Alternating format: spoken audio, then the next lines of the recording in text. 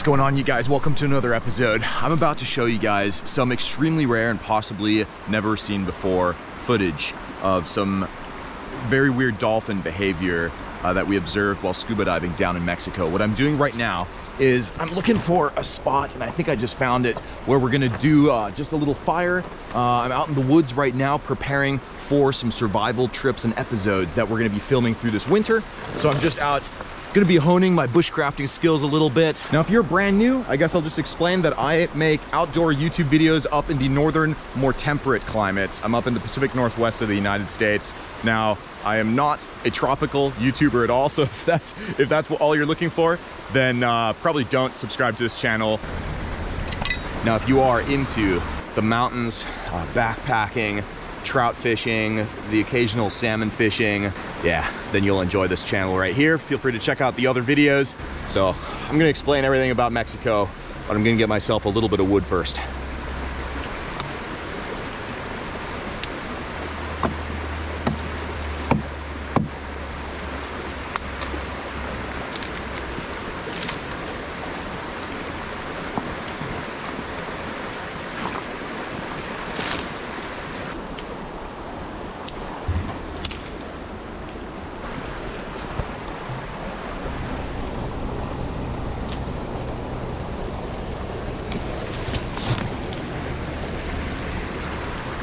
So this stuff here is called lichen. This is a symbiotic relationship between algae and a fungus. And uh, it's a great fire starter when it's dry. This stuff here is damp, unfortunately. What we're just gonna do is put the stuff in my pocket. I'm gonna spread it out in there a little bit. And hopefully now my body heat uh, will start drying that out and it'll wick out through the pants. So that's the driest we're gonna be able to get something uh, out here when everything's totally wet and we've got no sun to dry it out.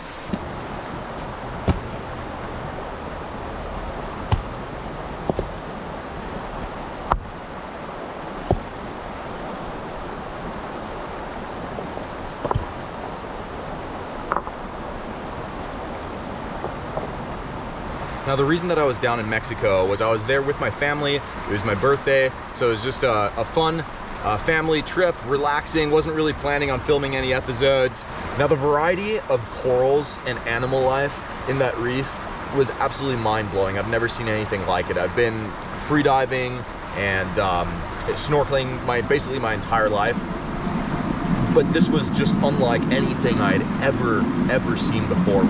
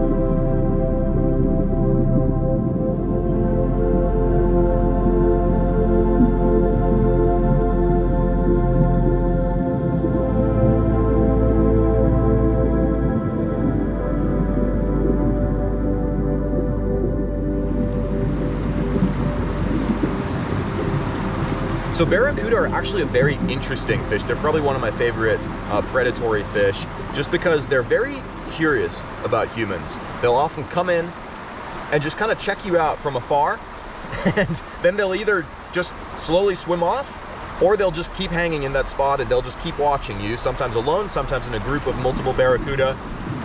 It is an amazing experience. It is a life-changing experience. So if you've ever thought about it and wanted to give it a try, just do something crazy and sign up for some scuba classes. It's something I'll do for the rest of my life. It's that amazing.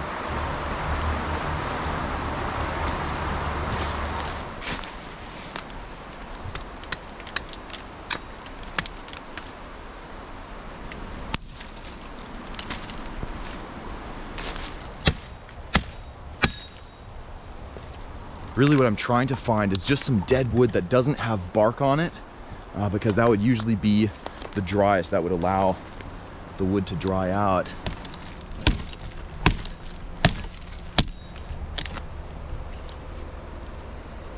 That's a little bit dry on the inside. Not horrible, we'll take this along.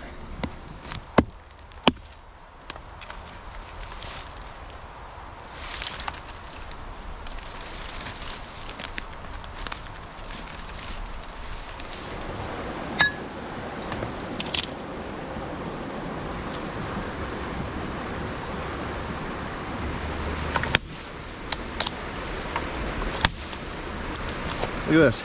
It's been raining for weeks, but right there on the inside of this stuff, that's pretty dry.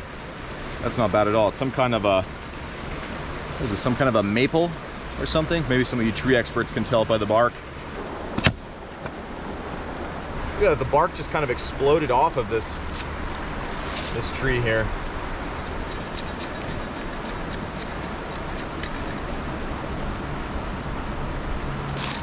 Yeah, the bark just comes right off of this stuff. That's amazing. I have high hopes in these uh, little logs right here. Let's see if this lichen in my pocket is drying up. It's definitely a little drier than it was, actually. Let's give this a try.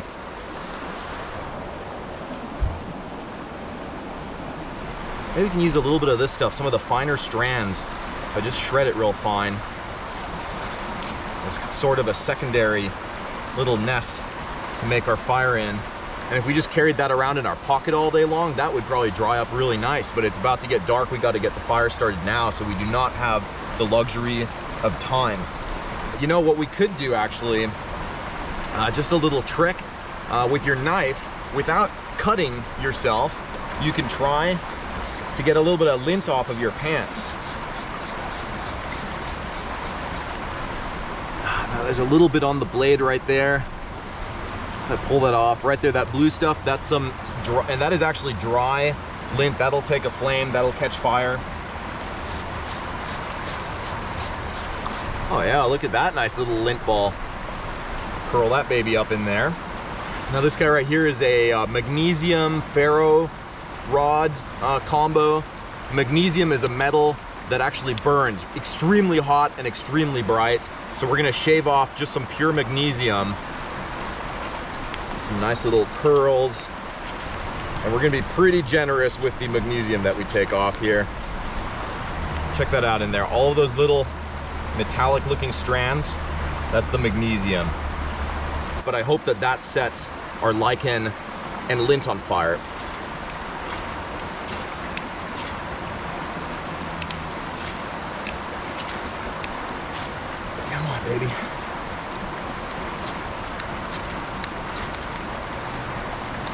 Oh, oh, oh, look at that. We just got a little tiny flame on the lichen.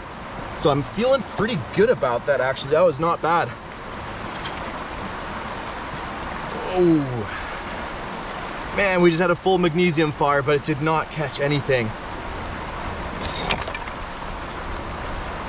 All it gives us. Oh, oh, oh, oh, oh. Fire, fire, fire. Oh yeah, feel that flame, man. Oh, here we go, here we go.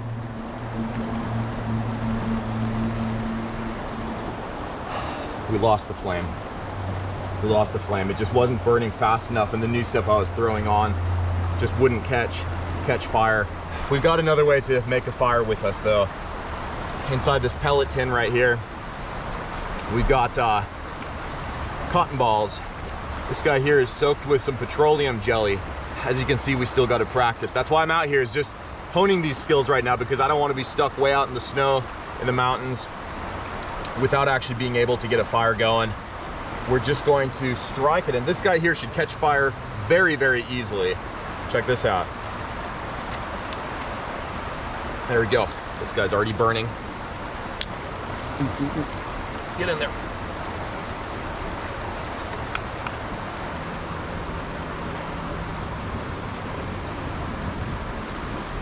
And we're having to really actively nurture this fire here. When you've got the wet conditions, you can't just kind of set it and think because you got some flames that you can start celebrating. The real work has just begun now.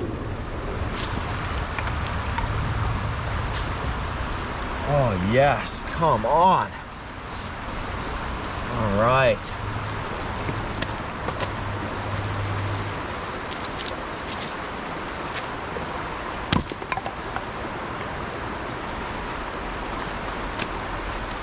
So we gotta let some embers grow here before we can start cooking. So let me just explain what happened uh, when we saw this dolphin.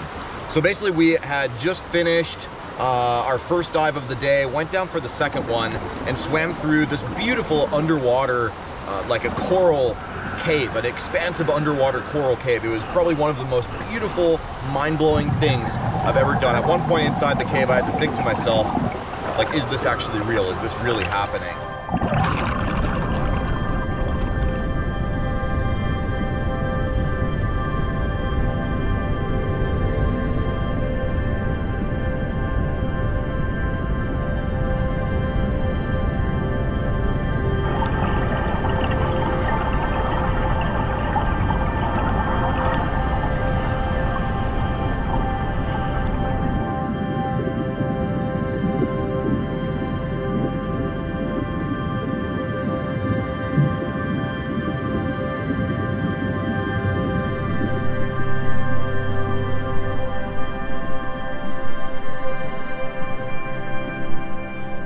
Probably say if you're new to scuba diving, definitely don't do that at home.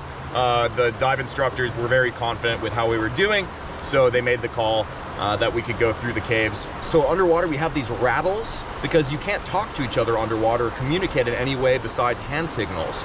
And further down the reef, all of a sudden, someone rattled again. And I just remember looking up, and all of a sudden, I mean, probably 50 feet in front of us, there was a dolphin suspended vertically underwater, and he was down with his head in the corals.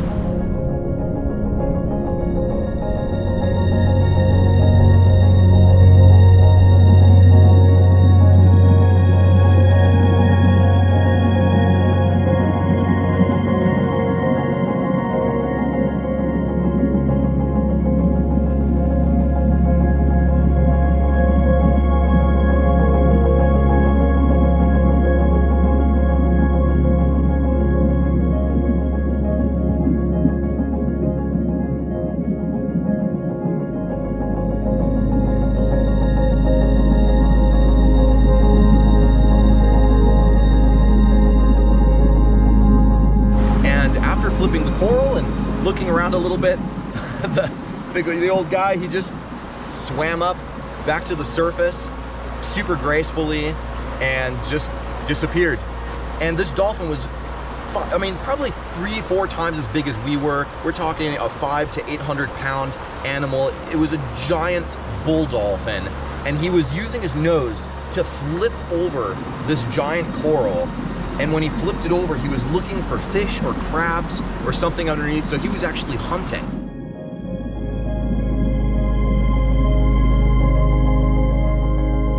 Basically, all of our hearts just stopped when we were watching that whole thing. It was it was like unreal. Our minds were just exploding again and again watching this happen in real time. When we got back to the surface, our dive instructors, both of them, actually told us that neither one of them had ever seen that kind of dolphin behavior ever before.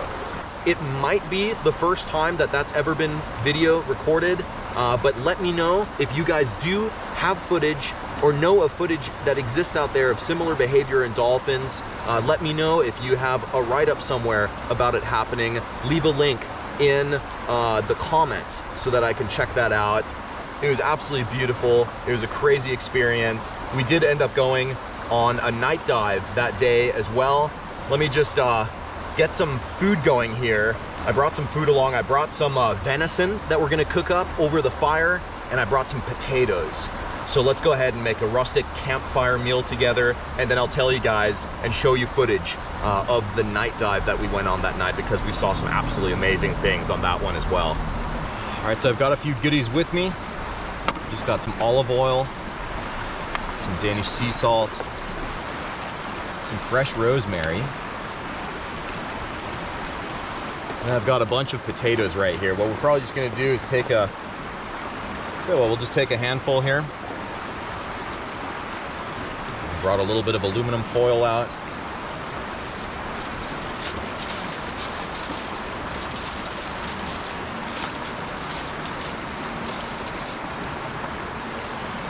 Take a little bit of that olive oil, drizzle that on top of them.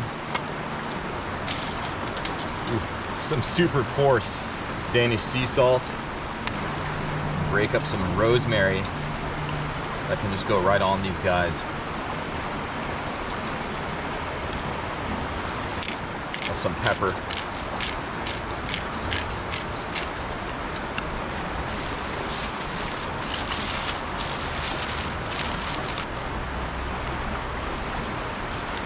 Right down, right down in the coals. and they'll just kind of sit there in that foil and they'll just steam up and get all delicious.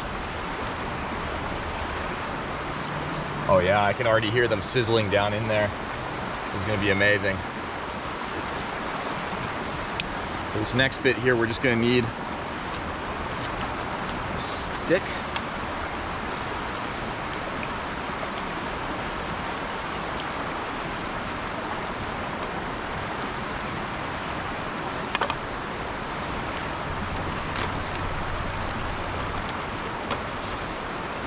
All right, and right here I have a delicious piece of venison, which is a deer, in case you did not know that.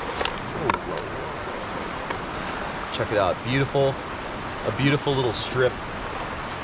So we're gonna take our piece of venison and just slide it onto that stick right there. We're gonna season it with exactly the same things. A little bit of salt, some rosemary,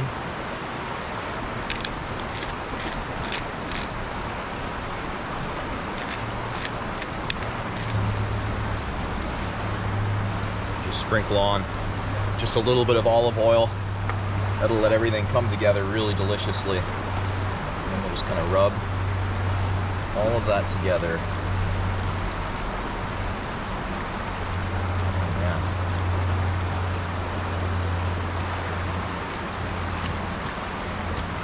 Okay, the fire at this point is full of nice little embers. You don't want to cook over like directly in a flame unless you're in a total rush. Uh, instead, you want some nice hot embers that'll provide radiant heat uh, to cook your food.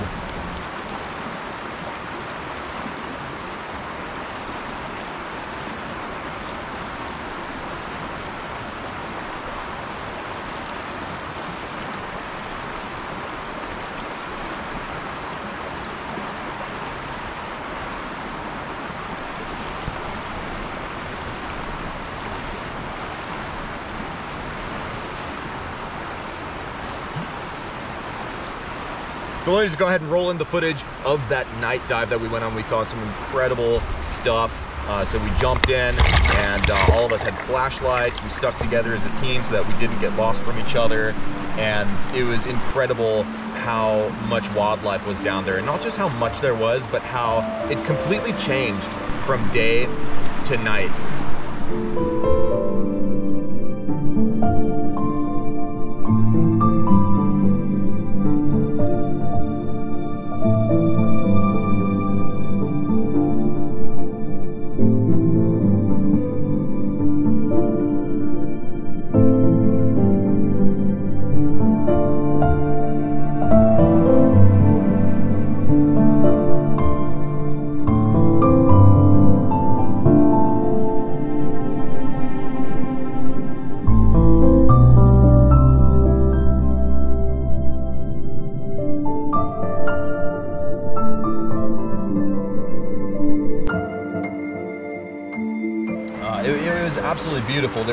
Types of corals that in the daytime are balled together, but at night those corals release and open up like a huge fan. Uh, there were these weird little spider creatures that I saw down there. Uh, it, it, it, was really an amazing experience uh, to see what the ocean looks like underwater at night. It's something I never thought really I would have would ever do. So I really hope that you guys enjoyed uh, seeing that scuba footage. It's something that I've never done before, never showed you guys before. So let me know if you guys want to see uh, more scuba, especially up here in my area, up here like in the Puget Sound, in the colder climates. I'm gonna have to get a dry suit uh, or just get really, really tough to go diving out with wetsuits in the Puget Sound. Uh, let me know if some of you guys are scuba divers. Let me know your guys' amazing scuba diving experience. Tell me some of the cool stories. For those of you that are still brand new and just kind of checked it out for the dolphin footage, I hope that you're still sticking around and enjoying this beautiful little venison steak that we're cooking up here. The potatoes are probably almost done with a nice warm fire. There's something special about that. I just love doing this kind of stuff. Those are looking absolutely fire. Here, we're gonna try one of these just while the venison finishes up. Oh, hot.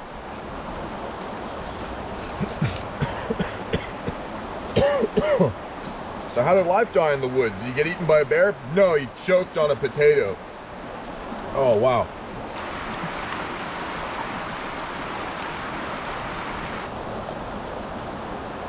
It's got just a little tiny bit of pink in there. Looks absolutely delicious. Oh. Oh, that's a jackpot, man. Man, now that venison is tender. Super, super tender.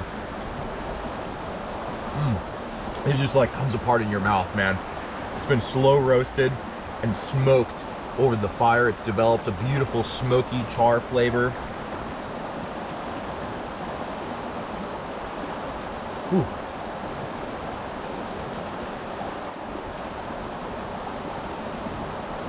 So I'm actually taking off for the next couple days to go on a more remote, uh, kind of a survival bushcraft uh, mission. Check out this old axe that I found too. Kind of cool. It's like an old, old American axe. So we'll probably clean this baby up a little bit, get her sharpened real knife. That can be our, our bushcraft, bushcraft axe. Mm. Mm.